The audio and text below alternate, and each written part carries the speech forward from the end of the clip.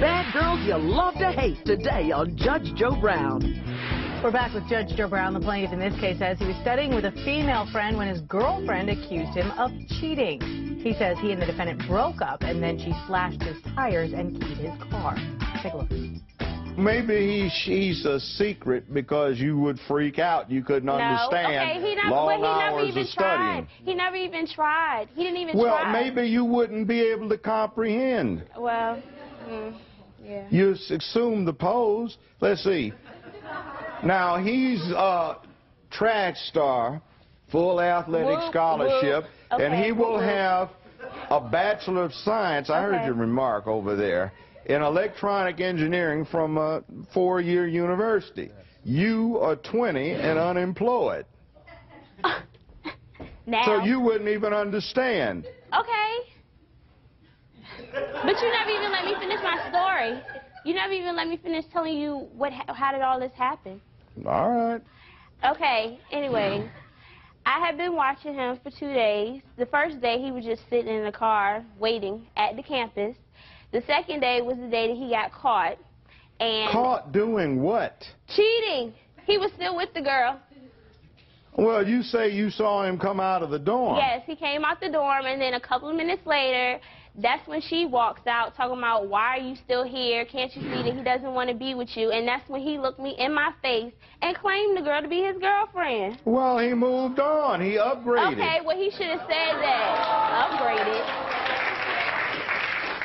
Well, that still doesn't excuse the fact why he lied. And that's why he Lied? Yeah, lied. You don't have any papers on him. Okay, well, he still lied. He was with the girl. So what? So he lied. Maybe that's he's why, thinking about that's you why walk- his tires got slashed. Maybe and he I enjoyed the noise, you know. Phew. Well, maybe what was going on is, uh, maybe what was going on is, um, whew, you walk up in there and start acting a fool. I sure and the other did. one I says, sure did. The other one says, wait a minute, wait a minute. Wait a minute, wait, wait, wait. Baby, you don't have time for this, this, this hood rat over here. Hood got rat? hand on hip. Yeah, look at him. Mm-hmm. Yeah, I did it, but he had it coming. That's hood rat. See, unemployed, no education, and hand on hip striking pose, head waggling, and got attitude about what? Him cheating, lying. He wasn't cheating, he upgraded. He didn't upgrade. You were a temporary He substitute. upgrade. He's a senior, getting ready to get his four-year Bachelor of Science degree from a university and get big ducats. Okay. So he's got it. So somebody else with it says, uh, you can do better. And he's going, yeah, I wish you'd come into life a little earlier. well, see, the other girl probably is a lot more intelligent and even tempered. I mean, look what we've got going on here, and I'm assuming at least she'd be able to figure out what she did wrong. You don't seem to get the idea. Let's see the car. Mm-hmm. Now, let's keep going. Now, He lucky he didn't get his windows busted, too. Why would he be lucky? Because I should have did more damage than that. Oh, you should have. Yes. Oh, my, that's awful.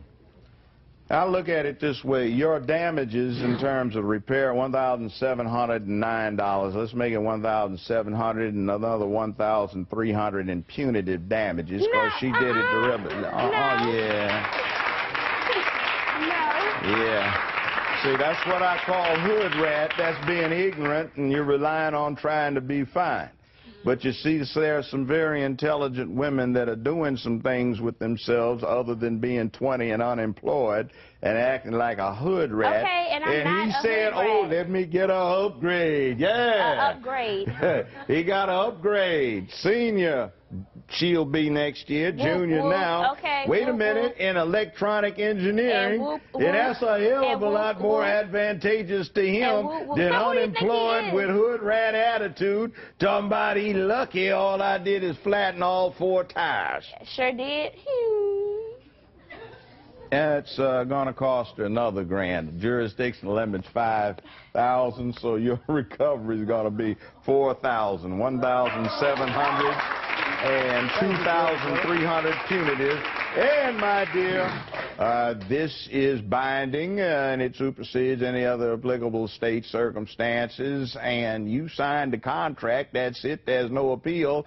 Therefore, you've got 2,300 in punitive damages you're staring at for your ignorance. Now, you take it as a little lesson in enlightenment. Yeah. Yeah, yeah. Now you're giving him a shot of wisdom and understanding. I ain't got to put up with no hood rat when I can get fine and intelligent and on my side and knows Hood what I'm talking about and is right there at 12 midnight understanding Yeah. what the load's about Yeah. rather than where are you?